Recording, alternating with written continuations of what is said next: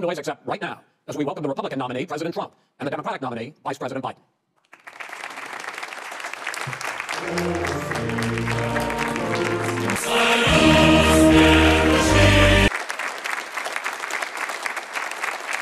How you doing, man? Thank you very much, Chris. I will tell you very simply we won the election.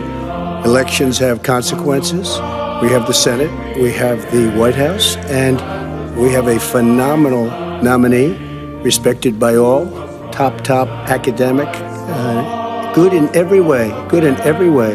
In fact, uh, some of her biggest endorsers are very liberal people from Notre Dame and other places. So I think she's going to be fantastic. We have plenty of time uh, even if we did it after the election itself. I have a lot of time after the election, as you know.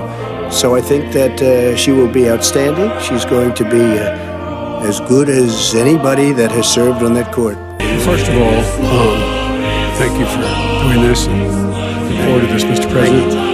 I, uh, the American people have a right to have a say who the Supreme Court nominee is. And that say occurs when they vote for a United States senator and when they vote for the President of the United States.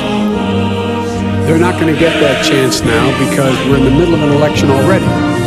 Election pre-existing conditions. As far as the say is concerned, the people already had their say. They, okay, Justice Ginsburg said very powerfully, very strongly, at some point, 10 years ago or so, she said a president and the Senate is elected for a period of time, but a president's elected for four years. We're not elected for three years. I'm not elected for three years.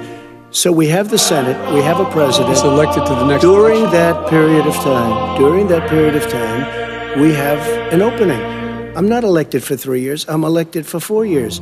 The and the hundred started. people, Joe, the hundred million people is totally wrong. I don't know where He knows that uh, what I proposed. What I proposed is that uh, we expand Obamacare and we increase it. We do not wipe any. And one of the big debates we had with 23 of my colleagues trying to win the nomination that I won were saying that Biden wanted to allow people to have private insurance still. They can. They do. They will. And in my proposal. Not what you said, but and it's not what that you you said. That is simply.